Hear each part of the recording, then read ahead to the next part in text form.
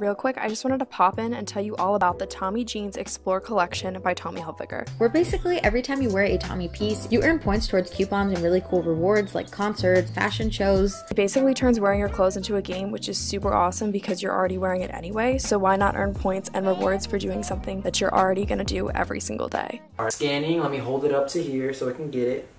There it is. You see? It popped up. Dope. Easy. Super easy. And it's really cool. It's like Pokemon Go. There's like little reward stations you can go to, and if you pass by it, you can get points. So I like it.